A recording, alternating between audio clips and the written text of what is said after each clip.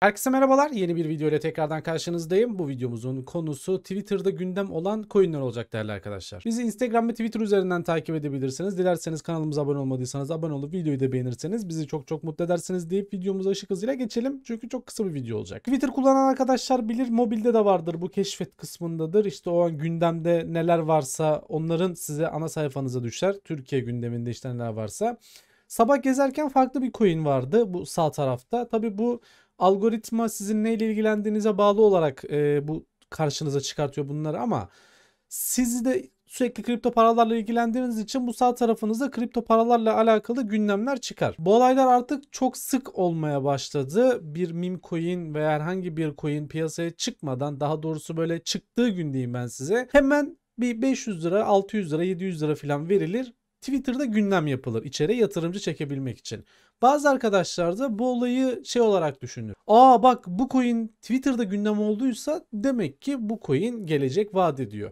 Tamamen yanlış bir algıdır bunu belirteyim size. Bir saat öncesinde Shakita Inu acayip bir tane coin'imiz gündemdeydi. Sayfayı yenile yaptım birden değişti. Bu sefer Vita ünü olmaya başladı. Bu artık çok fazla sık bir şekilde yapılmaya başlandı. Twitter üzerinden gündeme getirilen veya nasıl diyeyim size Instagram üzerinde birkaç tane hesabın aynı anda paylaşmaya başladığı meme coinlerden mümkün oldukça uzak durmaya çalışın. Bu tip olaylar harika bir reklam çalışmasıdır ve bu reklam çalışmalarında sizler belki o coin'i takip ediyorsunuzdur. Ha alayım mı almayayım mı gibisinden. Mesela o grafikte o gün baktığınızda büyük bir hype yaşamıştır ve şöyle düşünmüşsünüzdür sizde. Ya arkadaş bak bu coin'i de kaçırdık. Hayır. Siz aslında o coin'i kaçırmadınız.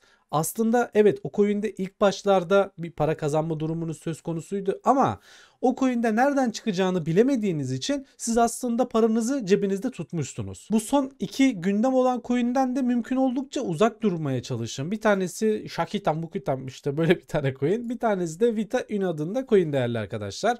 Yine Twitter'da gündem olan coinlerden de mümkün oldukça uzak durmaya çalışın tabii ki de. Bu konuyla alakalı sizlere anlatabileceğim olaylar bunlar yine kafanıza takılan herhangi bir şey varsa yorumlar kısmından yazarsanız elimden geldiğince sizlere yardımcı olmaya çalışırım. Bir sonraki videoda görüşmek üzere. Hoşçakalın. Kendinize çok iyi bakın.